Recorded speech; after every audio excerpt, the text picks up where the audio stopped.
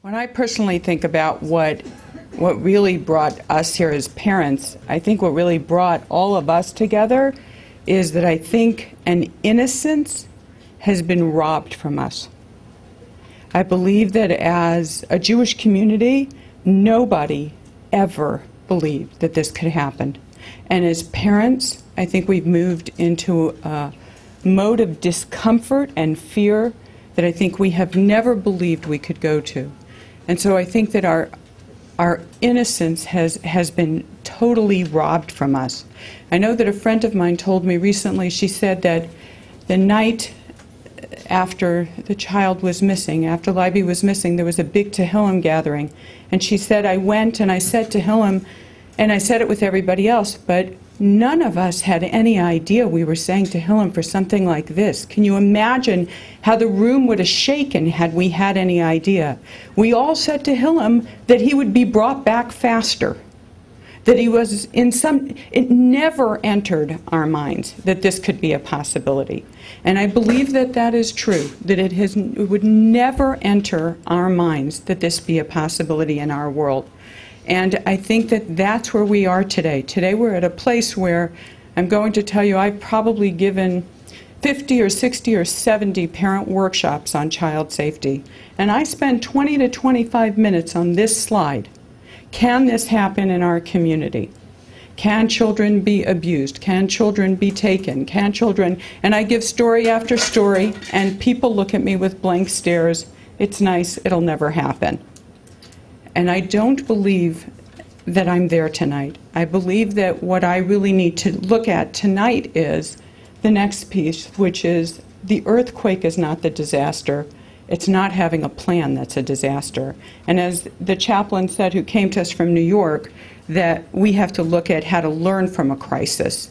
Um, and what my goal is tonight is to take the 25 or 30 minutes that I have allotted and to make sure that you walk out with an awareness of different issues, prevention skills to a degree, and I'm going to go through why I'm going to say to a degree.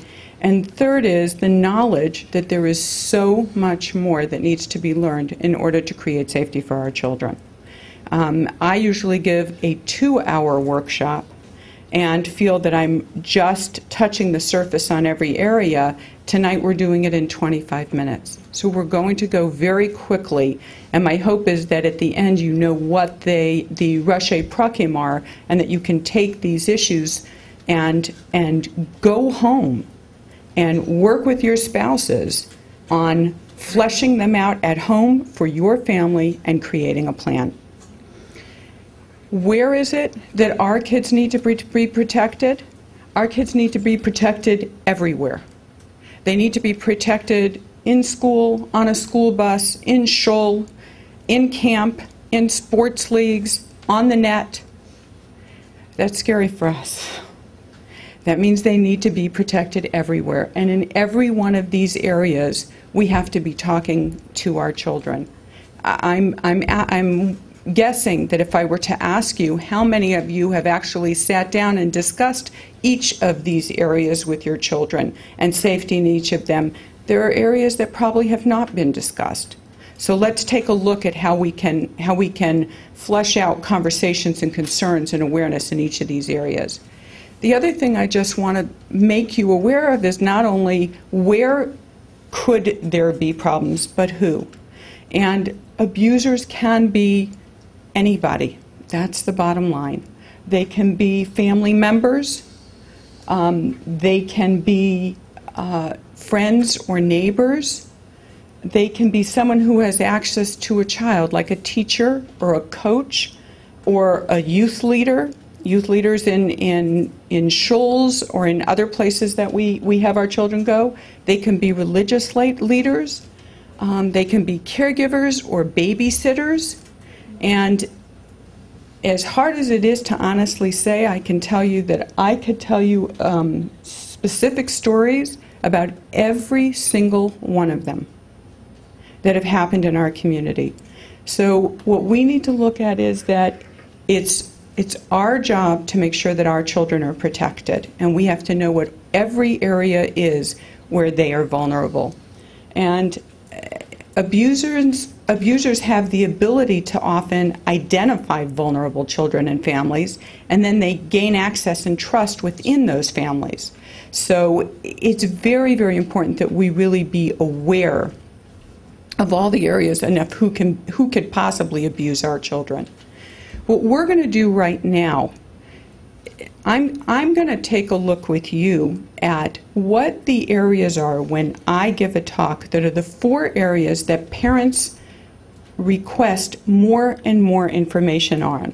These are what I'm calling the more broad stroke areas that parents whenever we give the longer talk are asking for more and more information. They are extremely concerned about these issues. After this, I'm going to go into what we call the ABCs of safety, which are general rules about your children and safety. So we're going to start with grooming. We're going to talk about supervision at home, babysitting, and camp safety. We're going to then go in a little bit to the recognizing of warning signs that, that a child might show and how to handle a disclosure. Again, we're going very quickly, bringing up just the highlights, and my hope is that there will be more workshops available in Teaneck and you'll get more information on each of them. Grooming is something very, very important. It's the process, the, the grooming process is specifically designed to lull the child into a sense of ease thus blurring any aware, awareness of improper adult behavior.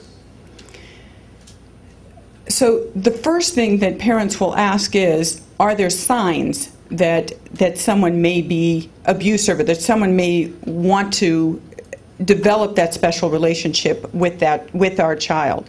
And here's some of what we want to look at. We want to look at that these are the adults who are spending a lot of time with children. I, I would say that I've never been to a city, and I've been to many, where a shul rabbi has not stopped me and said, There is this man who is spending a tremendous amount of time in our children's programs or in the, in the kiddush room with children. I think really almost in every shul that I've been to, those are people that we have to have brought to the awareness that a shul has to put limits on people who act like the child's parents and develop a strong bond with them. They become over friendly. Um, they will buy them gifts uh, and have a very cl- a closer relationship that would be normative in, in, in that person's role. So if a coach is a coach of a basketball league, then they would do that, but they would not necessarily need to take that child out afterwards and spend all this extra time with them.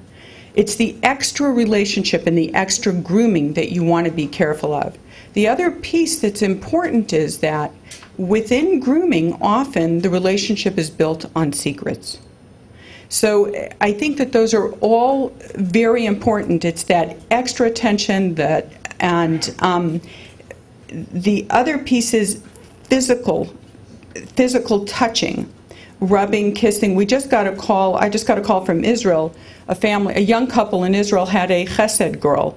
And the chesed girl was um, touching their son, a, a, five or six year old, a lot. Um, and they asked her to stop. They said they were not comfortable. And what they saw after a while was she could not stop.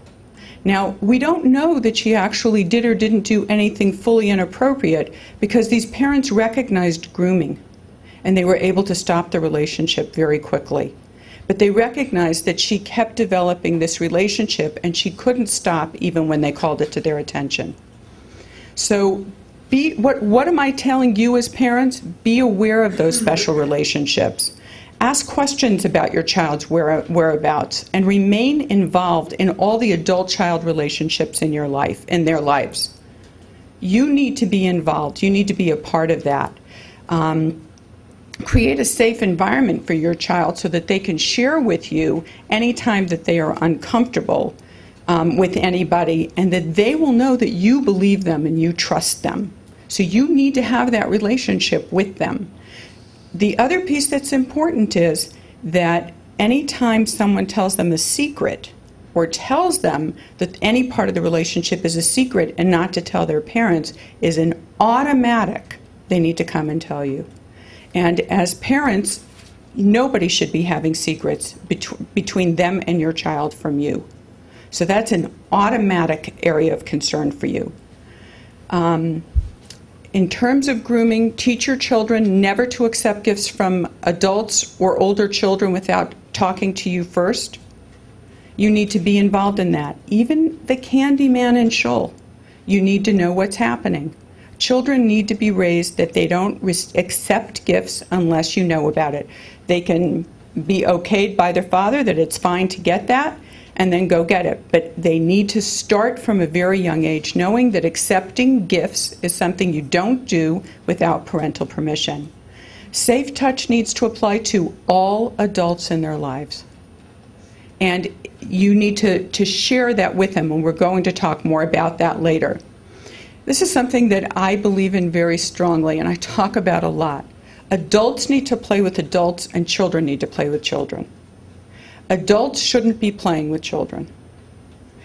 That means that that adult who is always in the children the children section or spending a lot a lot of time with children i don't know if there's anything wrong but it's definitely pink flag and your child needs to be playing with children so keep your child understanding that children play with children and that they should never be told to keep secrets from you okay this is a sensitive area in our community, and I'm going to talk about it because I think it's important. We call it supervision at home, but in essence, we're really talking about incest. And um, several years ago, in 2009, I gave uh, a um, workshop on um, working with the Orthodox Jewish community to a juvenile sex crimes unit. And what they told me was that the highest rate of incest that they had was in the Orthodox community. They were very concerned. As of recently, there was a Nefesh conference of Orthodox Jewish therapists and rabbis in, um, in the five towns, and David Pelcovitz asked the question how many therapists here have dealt with a case of incest? And 75% of the therapists raised their hands. So, what I'm going to say is this is something that we need to be aware of. Um, up to one third of sex offenses against children occur at the hands of other youth and peers, and the rate of sibling incest, brother to, brother to sister, is estimated to be five times higher than parent incest. So, what am I saying to you? What, what do you need to know? Supervise, supervise, supervise.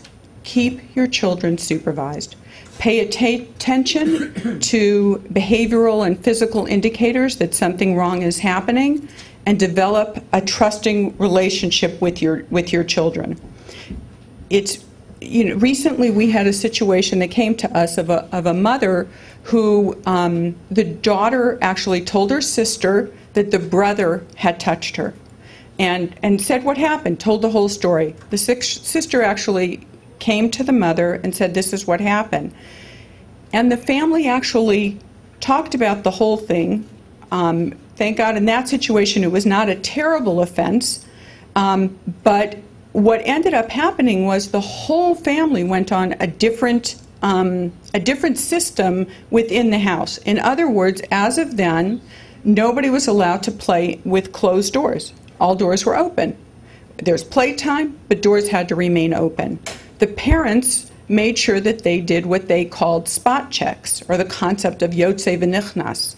We parents need to get up and check. I always say that, you know, you can have a family get together, a Shabbos lunch. You have all your family members, right? So you have the beginning of the meal before before motzi. You have, you know, uh, 25 seats set, right? And then everybody sits down, and the minute that challah enters your mouth, you've got 18 kids that take off, right? And you've got the six adults left or seven adults left, right? Isn't that what happens in your houses? How many times do people get up and go check on the kids? Never. You're saying never. It doesn't have to be that you're looking because you feel something terrible's happening. it can be just a natural thing that you get up and you go check on your children and you check on the other children that are there. Whether it's small bullying things that are happening, someone being left out of a game, children playing doctor, or anything else. The issue is children should know their parents are coming and going. Um, really, this is what I'm saying, which is, uh, in addition, the last thing I just want to say about this is create safe family rules around the concept of bathing and dressing times. From a very young age, there's not a reason not to say um, the girls are going to dress in this room and the boys are going to dress in that room. Um, and to respect when your children ask that, that someone not come in, that, that a brother not come in when they're dressing. Not to say, please, he's just your brother. But if a little girl has that sensitivity, respect it. In fact, promote it. That they should have their privacy around the private areas of their bottom, of their, of their body. Um, okay, babysitting.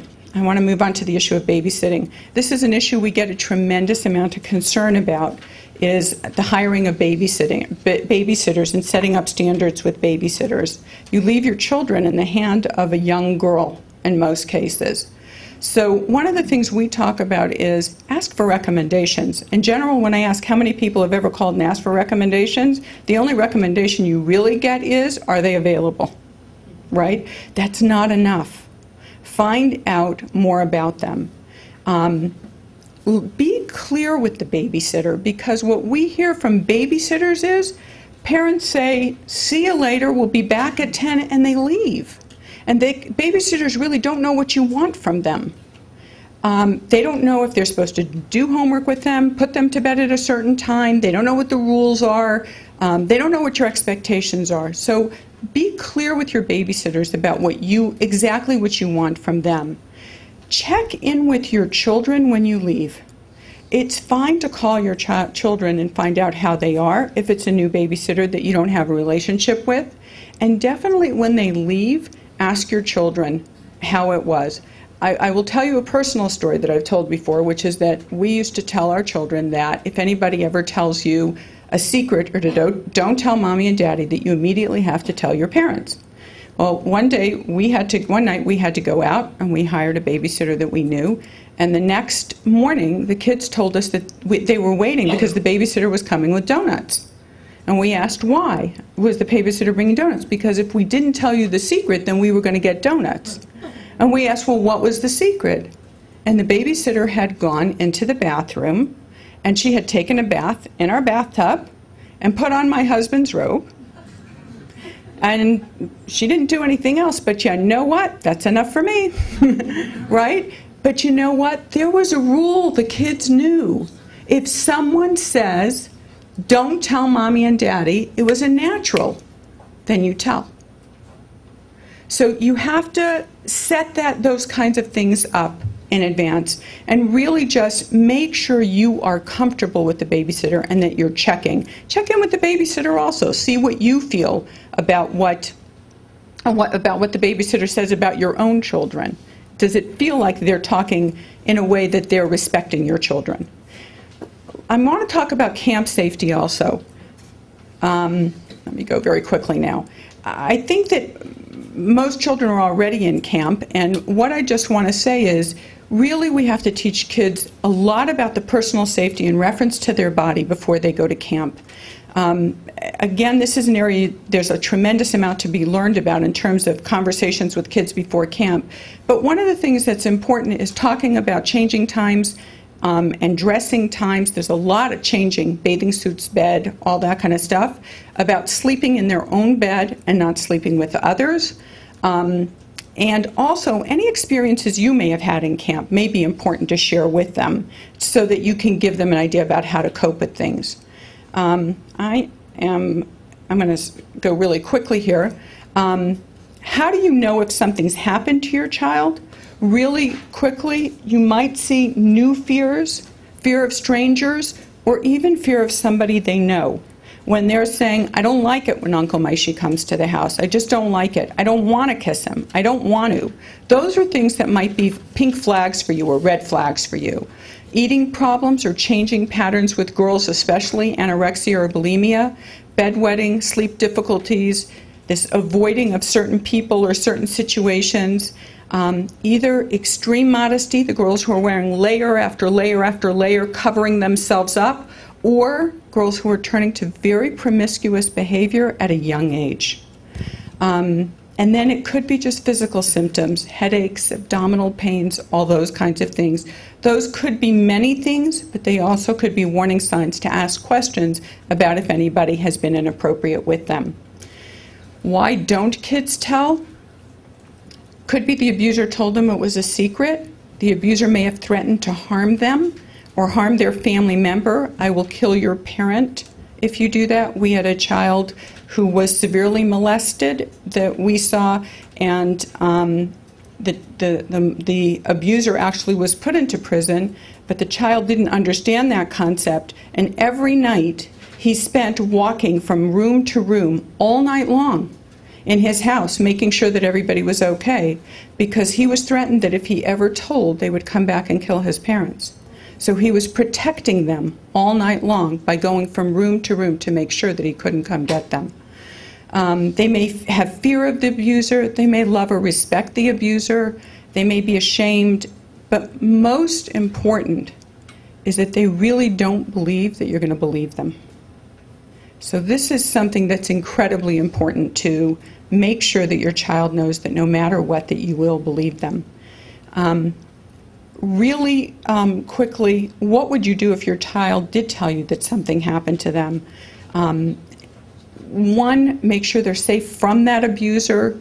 Find a private place to talk. Remain very, very calm and reassuring. And I'm going to say to keep them um, to keep them informed of anything that you need to do. Um, I'm going through this very quickly because of time, but there's a tremendous amount more on each of these areas. And then lastly, what I want to do is I want to talk about this, and, and, I'm going to do this rather quickly as well, but I want to talk about what we have developed, what we call the Aleinu Safety Kid um, program. And this program goes to schools where we work with children and we work with the administration and we work with teachers and we also work with parents. We do all of that within the program. But what we teach the children as well as the parents are the ABCDs of safety. And that's what I want to very quickly go through because they are very tight um, rules that are very important. The A is ask for help. And these, what we're teaching our children is to ask for help, to um, let, one of the most important things here is, is to identify who is a safe helper. What we teach children is that it's an officer, it is a cashier, or someone working there, and most importantly, it is a mother with children. And that if they are ever lost or need help, that those are their safe helpers. We teach them that if they get separated from their parents, they need to what we call hug a tree. That means stay where you are and um, never go anywhere with somebody private, even with a safe helper, not to go into a private place. If the safe helper says, I'm going to take you into a private office, we teach the child not to go into a private office with anybody, but to stay in that public space. Um, and to, as the officer said before, you can run, scream, make a scene, to yell a lot, and to in order to get that attention. But if they cannot find an officer, what we teach them is a mother with children will often take care of you. Um, I do want to say one thing quickly, which is that when, when I go with my grandchildren, as I roll into wherever we go, the first thing I do, as soon as you get to a parking lot, you start by seeing people in t shirts and with name tags. I immediately identify with them. What color are the shirts? What does the name tag look like? The, you need to start that before they get into a park or into a place. Let them know who those safe helpers are as soon as you get in. Talk to them at a plan as soon as you get in. Those are things that you can do as the parents to help develop plans. B is bring a friend. Never go any place alone. this is something I think children today in safer neighborhoods are not used to. But there's safety in numbers. And a buddy can be a friend or a neighbor or someone in a class or a brother or a sister. It's all okay. But it's always safer to have a, a buddy because a buddy can help you make decisions. A buddy, if you've gotten into trouble, can go get help. But we teach children they should never go anywhere alone. Even when they're outside, they should have someone with them and that they should always have a buddy with them. This is very important, which is the concept of check first, and that's our C rule that before they open the door at home, they need to check first. You need to know if they're opening a door. You need to know if they're op- if you want them to answer the phone. Um, but and if they do answer a phone, be sure that you're teaching them how to answer a phone. And if I call your house and they say mommy's not home, I don't want to know that. That's too much information for me. You need to teach them how to answer that phone. You need to teach them to say, My mother's not available. Or better yet, today, kids don't need to answer the phone. Let it go to the machine. Um, but you, you, you need to take a look at teaching them how to handle that. The other thing that we teach about check first is, again, never to um, accept anything from anybody that your parent has not given you permission to. Always check everything out and check any change of plan.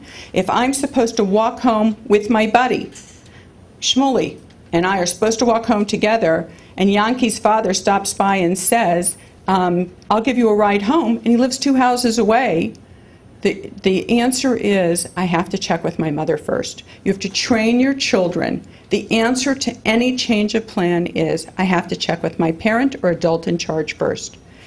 Um, so let me just then D is do tell, and do tell what we really focus on. And again, there's at least, and I'm sure you can all imagine, a full hour on how to work on do tell having to do with privacy and privacy of their body. But one of the things that I stress is that studies have shown the importance of children having language and being able to identify their own private parts. Um, the the um, Stuart House, which is the agency we work with who specialize in working with abused children, who have worked with um, a very uh, large number of Orthodox Jewish children, have said that they have noted that the majority of our Orthodox children did not have language and didn't know how to tell parents what was going on because they didn't know how to say the parts of the body. They didn't know what to tell them. And part of the message a child gets is if you can't tell me what it's called, you're obviously not comfortable talking about it.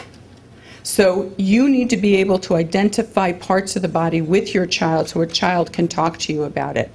Um, and you have to be aware, encourage them to talk to them about, to talk with you about any concerns they have about their body, about their maturity, about behaviors of other children. If other children are doing things that are making them more uncomfortable, they need to come and to tell you.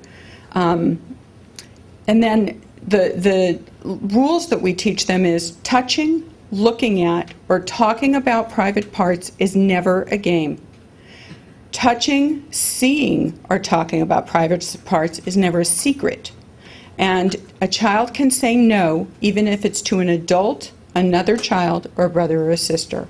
And those are really important rules that we teach the kids.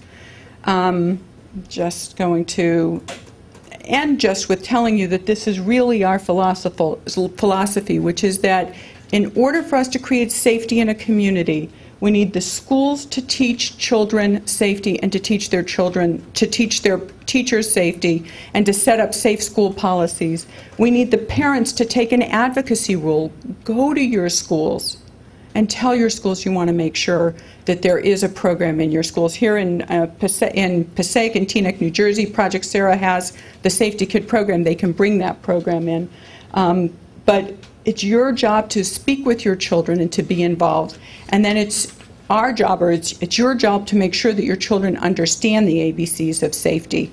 Um, and and th- that's what actually makes for a community that is safe. It takes it takes an entire community to allow to create safety for children. That entire community has a role when we're when they're not safe.